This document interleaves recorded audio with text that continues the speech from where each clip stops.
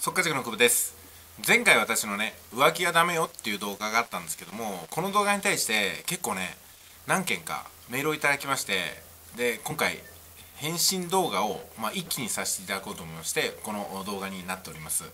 あの浮気はダメっていうのは本当にね私の苦い経験からも申し上げたいんですけどもやっぱりね選びにくくなっちゃうんですよね。どれがいいかなってなっちゃうんですよ。で迷いをずっと含んだままなんでやっぱりねどっちに対してもちょっと引け目ができちゃうんですよね。その引け目ができた段階でもうスピード落ちてるわけなんですよ。だから1個を信じて徹底的にやると。でどうしても気になるものがあったらそのずっとやってたものを手放してね。で他のことに一生懸命になった方がいいと思います、まあ、例えば私も速稼塾ってもやってましてね。速稼塾も関わりながら他の塾もちょっと気になるなって方。もしね本当に成功だけを望むんだったら私のことなんて気にせずにその新しく信じた方を全力投球した方がいいと思います。私のことも気にしながら他のこともやっていくってことではうん相当器用な方じゃないとうまくいかないんじゃないですかね。基本的に1個なんですよ。で1個やってれば他のこと気にならないはずなんですよ。で他のことが気になるってことはすでに心が離れ始めるってことなんですよね。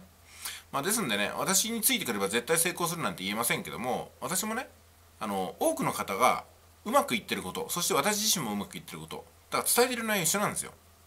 で何が肝心かっていうと誰からだったら受け取りやすいかってことなんですよね。誰からだったら受け取りやすいかってことをご自身で決めてあ最初は久保さんから受け取りやすいと思ったけどもよくよく考えたら自分の受信力が上がってきたからこっちの人の方がいいなと思ったらそこから全力投球で受け取った方がいいと思います。その時私のことなんて、まあ、気にしなくていいです。私はね本当に短い時間でも付き合っていただいて本当に感謝ですよ。うん、で残念ながら私のもとで十分稼げなかったことに関しては私は申し訳なさも感じると思います。んで見限られて当然だと思います、まあ、ですんでね、えー、もしあの今更離れるの申し訳ないからっていう引け目があるんだったらそれは気にしないでもらいたいと思います。私が望むのはあなたがきちんと自分の人生を私なしでも歩んでいけるようになることなんですよ。いつまでも私がいないとダメなようなものってのは私はどちらかというとうん歓迎しないですね。でもいつかね同じ友人として成功した起業家として肩を並べられることっていうのは本当にこの家に勝る喜びはないんで是非ね私の力でなくても誰かの力によってそうなっていただければもう言うことはないですから。ただね私の言うことをちゃんと守ってればそれは稼げますんでそれはそうじゃないとね、うん、やってないですかね私もね。でこんな長い間できてないですから、うん、そこはね私が別に弱気になったわけではなくて、うん、こういうことなんですよ。他のことが気になりだした気になりだした時点でもう私の元ではねうまくいかないと。いうことなんですよ。それは他のとこ行っても一緒だと思います。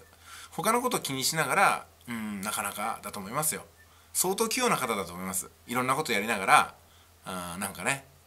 一等地を抜く存在になるっていうのはねなかなか難しいんじゃないかなと私は思うんですけどね。どうでしょうかってことです。まああの本当にねあのこの前の浮気はダメよっていう動画を見てあ自分がちょっとね心揺れ始めてたことに気づきましたみたいなことでやっぱ他は断っていこうと思いますとかもうすでに他の塾もお金払っちゃったんですけども全然もうもったいなくないですみたいなね。そんなあ返信もいただいたんですけどもあのもし私のことに引き目を感じてるんだったらそれ全然構わないですからあの私はねいつもこうやって発信してますんで私がいなくなるわけではありません。ね。えーと、あなたがどうするかを決めてくださいってことなんですよね。私はずっと同じように死ぬまでこれやってますんで、えー、ですんでね一時期他に行ったけどもやっぱり久保さんとかしかいないと思って戻ってくるのもそれも大歓迎ですし行ったきり戻ってこずに幸せになっていただくのも私も大歓迎でございますんで。どちらでも OK です。ありがとうございました。じゃあすいません。こんな動画で。